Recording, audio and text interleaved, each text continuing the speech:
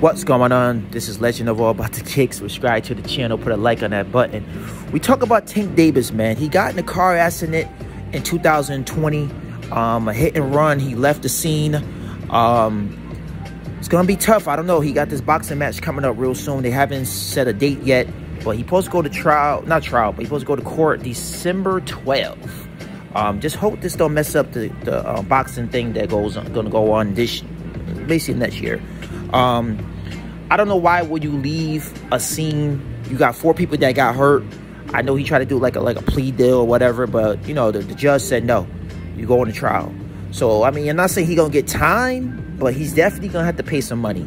I mean, you got insurance. I don't, you know, you make you making a millions of dollars. So why would you leave the scene? You know, that's kind of wrong. You know, four people got serious, serious hurt.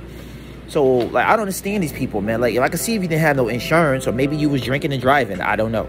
But you know, they they must have got his license plate number off the cameras, or somebody wrote it down, and you know, he got to go to trial. He got he got a court date. Um, just pray that you know it don't mess up the boxing match that he's supposed to have, because um, we do want to see it. And um, I don't know. You gotta be careful when you you hit somebody. Just stay, man. I know a lot of people who don't have insurance. They they definitely will run that's why I always get nervous when somebody hit my car because you don't know who got insurance. You know what I'm saying? If somebody hit and run, who got? You might get hurt trying to chase the person or whatever. So you got to be real careful out here. But you got millions of dollars. You should just stay. I mean, I can see if you didn't have no money and you didn't have no insurance or registration, then you can just like, okay, let me run. Here we go. Mayweather You know, Mayweather spend a lot of money, man. He spends a lot of millions and millions of dollars on watches and clothes and on, you know, Gucci. I mean, the dude spends a lot of money. He got different cars. He got his own stuff. I mean, he, I don't really think he need the money. But um, he's doing another fight, man. He's doing the exhibition fight. Um, he got two fights coming up. I think he's saying he only he only taking $20 million or $40 million for these fights. So, I mean, Mayweather, it's good to see Mayweather back in the boxing, you know, match would this mess up his legacy? I mean, nah, I don't think it mess up his legacy. But I mean, I think you should just sit your ass down and just collect your money and just keep on finding boxers and train them and get them right. Um, you never know. Somebody might just knock Mayweather out, man. You know, he's getting old. You know, I think he's, what, 44 now?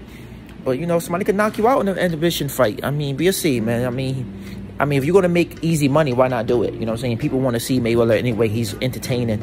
So, I mean, one of the greatest boxers of all time. You know what I'm saying? Um, deny that the best defense of all time. Him and Muhammad Ali had the best defense to me and Sugar Ray. Um, so you can't deny that. You can't deny, you know, he is 50 and 0. But I mean, for I mean, if I could, if I could do an exhibition fight, I would do it too for 20, you know 20, 40 million dollars. Why not? And people gonna watch it. Why not? You know, Mayweather, salute to you. Keep getting that money. Um, next topic. Let's go. Let's talk about Wack 100. Uh, he's a clown, man. You know, Wack 100. You know, I like Wack 100. Don't get me wrong. I mean, the dude can fight. You know, he is a, you know, he is a gangster. You know what I'm saying? I can't deny that shit. You know, what's for him? The game. Who know the hell he'd be at? But he is a cheater, man. He cheating on his wife. He said his him and his wife was unacceptable. Like, you know, he loved his wife. He been with her for all these years, but he flying chicks in, He's giving them private motels and all type of shit. I mean, you can't be out here talking about um, everybody else and you doing all kinds of wrong things yourself, man. You can't say you love your wife and you cheating on your wife, man. You know what I'm saying? If your wife give you a pass to do what you do, allegedly, I'm just gonna say allegedly, you know what I'm saying? You know, you could do it, but you talk about you love your wife, y'all inseparable, y'all Bonnie and Clyde, but you flying these chicks in and you giving them motels and giving them all the good stuff. Um, you just be doing some foo-foo stuff sometime, man. And, um, you know, it, it is what it is, but calm down, Wack 100. Calm down, man. You know what I'm saying? I'm not saying you're going to lose your wife because you've been with her for mad years, but, man, stop flying these holes in. You know what I'm saying? Stick to your wife. If she ain't giving you what you need, man, just divorce her, man.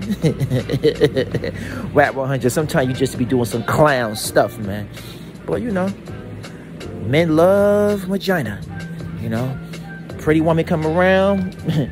You know, these niggas out here be barking like hyenas, man.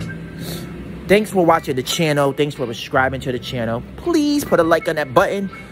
And uh, if you like the topics I did today, leave a comment. and share the video, man. Share the video.